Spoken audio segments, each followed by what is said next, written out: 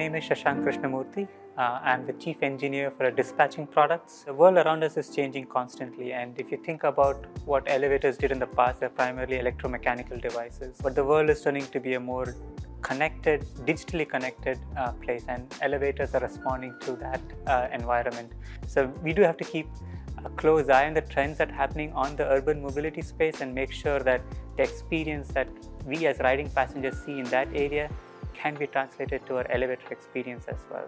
If you look at a passenger coming off uh, their journey from their home to an office building, right, and then coming into the building to their final destination, uh, what we are trying to ensure is that they have a seamless, frictionless experience through that whole journey. So how can I ensure that you know, a passenger coming off the metro has an elevator waiting for them as they enter the building. Buildings are very dynamic uh, in nature. Um, you know, you could have one tenant move out and a new tenant come in. Uh, you could have a new uh, restaurant or a new cafe open up in a certain floor.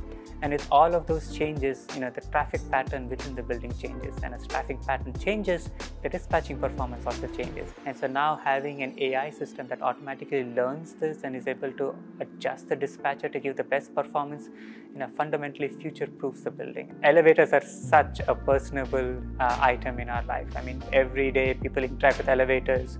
You get a lot of good feedback from riding passengers uh, as you go into a vehicle. You can, you know, sense what people are thinking, what they're looking at, and you know, those give you great ideas on how you can improve the product.